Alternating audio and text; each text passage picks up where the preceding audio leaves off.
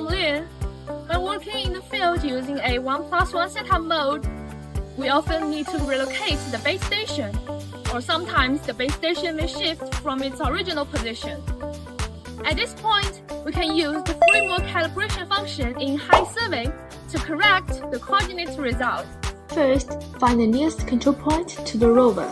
In the HiSurvey software, tap Framework Calibration. Enter the control point coordinates.